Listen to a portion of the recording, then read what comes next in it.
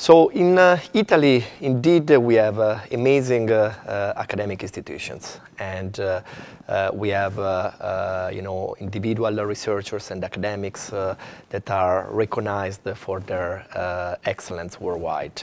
unfortunately, this research excellence is not always translated into innovation and this is, I believe, one of the uh, challenges that uh, Italy is facing and is also trying to, uh, to address. Uh, of course, in the context of Italy, there are many uh, institutions. we see uh, some universities, some, some initiatives, especially in the north of Italy, that are definitely more developed and more established compared to, to others. I believe, you know, we have great examples, of course, in, in, in Trentino Alto Adige, with what Trento is doing, what Bolzano is doing, uh, uh, Polytechnic of Milan uh, and Polytechnic of Turin as well. They have quite developed environments.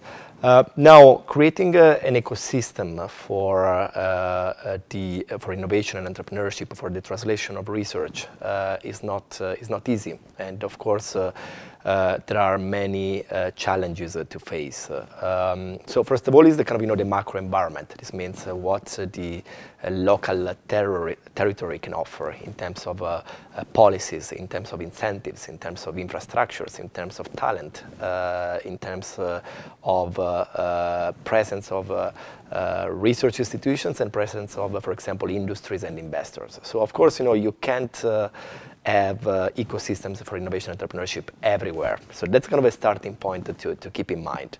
And this is the reason why, you know, uh, these type of ecosystems, the successful ones, tend to be few and uh, very often uh, concentrated uh, in uh, hubs where there is a, favorable environment for, for, for that kind of growth in terms of kind of you know what I see as the uh, key uh, factors to uh, to develop these type of systems, um, if these systems uh, uh, kind of leverage uh, the role of academies, of course, you need kind of you know talented academics, talented research centers, talented institutions in the territory with kind of you know with an entrepreneurial mindset. Um, so I believe uh, Uh, the uh, kind of you know the role of academics uh, uh, is uh, is changing. Uh, it's not uh, anymore about kind of you know research and teaching. is about kind of you know attracting academics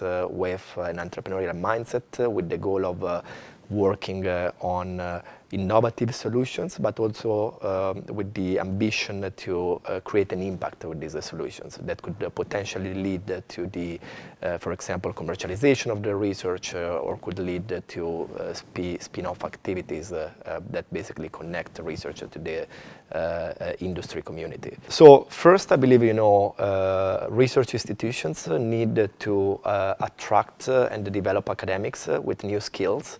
Uh, so it's not anymore only about research and teaching, uh, it's about developing uh, uh an entrepreneurial mindset. Um, so uh, potentially, you know, academics that become not only kind of, you know, leaders in research and in the discovery of solutions or new or, or inventions, but also actors of change, actors of impact.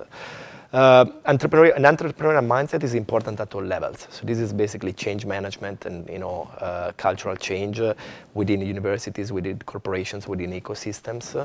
Uh, and you know, uh, you, you first of all, uh, I believe the concept of collocation is is important to have in the in close proximity the different actors of these type of ecosystems. So you you wanted to have researchers in close proximity with entrepreneurs, in close proximity with uh, uh, corporations, in close proximity with uh, government bodies. Uh, so basically, this proximity uh, naturally fosters innovation. That's quite, uh, quite important, and there is a lot of research showing that successful ecosystems are characterized by this co-location aspect.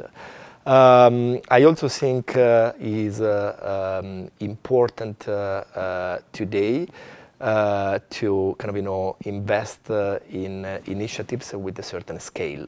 Uh, so scale is another important factor.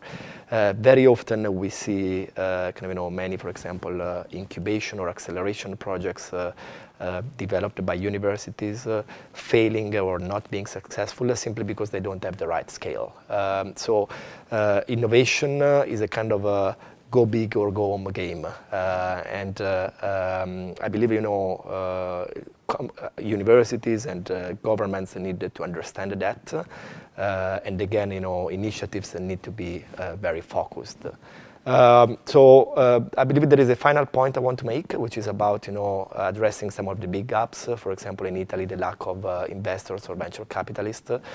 Uh, I believe you know the opportunity there is to try to uh, reach out and connect with these communities globally. Um, so today, you know, you can establish partnerships with you know investors in other countries, like you know in the UK, London, or in Israel, or in the Silicon Valley, and you can connect with these groups digitally uh, by organizing events or by organizing uh, uh, projects with them. Uh, at Imperial College, we do that. Uh, so you don't want only to create uh, opportunities for startups locally.